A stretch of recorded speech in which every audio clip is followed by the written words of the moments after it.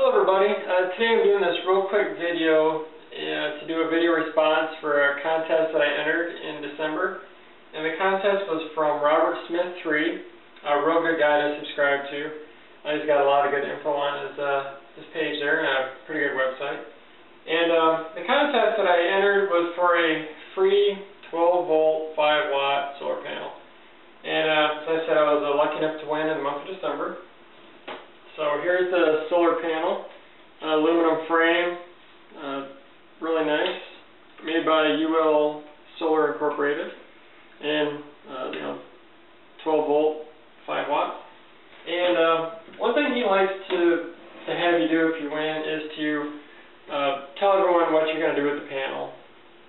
Well, what I uh, decided to do with the panel, um, I have this solar window heater that I built uh, just for you know like apartments or you know condos or whatever. If you want to have a solar heater and you don't want to have one sticking outside or can't have one sticking outside, this is a good alternative. Well, I had uh, one fan that I uh, kind of hacked together that's uh, solar, and there's the solar cells there, or solar panel. Uh, so what I did, I, I took this uh, 12 volt panel and hooked up to a DC computer fan.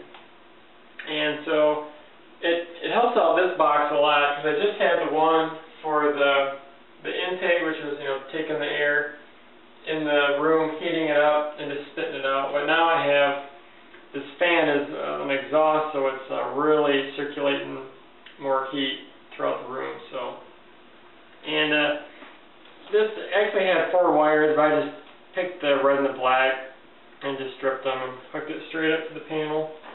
There's the end there. So red, black, red, black. Pretty simple stuff. Okay, so uh, just in case you're wondering, here's the outside view of the uh, window heater and the two solar panels that are running the, the window heater there. Um, once again, I'd just like to say thank you very much to Robert Smith 3 for running this contest. A real good guy to subscribe to. Okay, thank you for watching this video. Take care, and God bless.